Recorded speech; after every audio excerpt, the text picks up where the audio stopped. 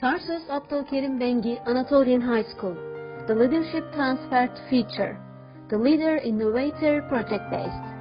The School of Initials adapted to technologies, improving and changing, educating the leaders of future.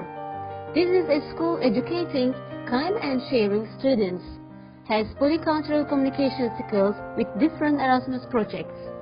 Lifelong Math is an Erasmus project. Our partners of the project coordinated by our school are Italy, Macedonia, Romania and South Cyprus.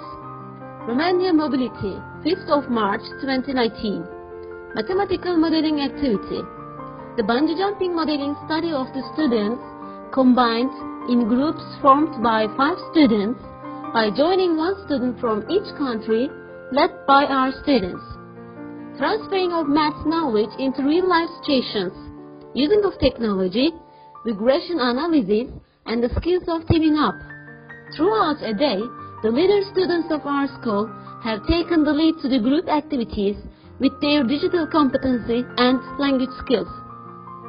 Our school aimed at raising individuals having 21st century skills that is necessary for Industry 4.0 has made an effort to educate the leaders of future who have cross-cultural high communication skills. We thanked our school principal Ibrahim Söker for his leadership.